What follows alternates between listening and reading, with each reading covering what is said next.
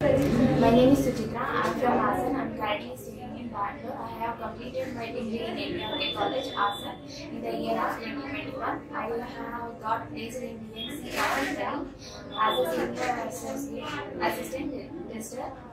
And uh, I have I learned a lot of things in Spider, manual testing, core Java, and database concepts.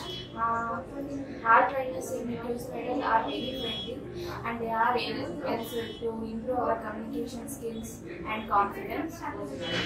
Thank you for our